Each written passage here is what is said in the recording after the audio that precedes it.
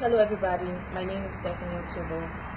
Um, a video was just brought to my attention on Sahara Reporters that I was lured into saying the truth and I just wanted to clear that I only said the truth for my own peace of mind and my own well-being as a human being. Nobody blackmailed me, I am not held, I am not forced.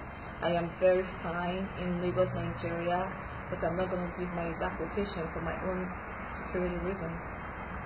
So that video was done by my manipulators to have something against me in case whenever I try to say the truth.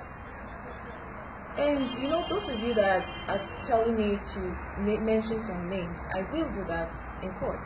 I will. Because they've been emailing me, they've been sending a lot of texts, trying to offer me a lot of money. But I cannot be manipulated anymore. You know? I have moved on in peace. And I I would really appreciate it if everyone would understand and let this go and move on too in peace. This is not all about us. There's a body of Christ involved in this. We should just let it go and let God take control. Let God judge. Let God do everything. If you think I'm wrong or right, let God handle it.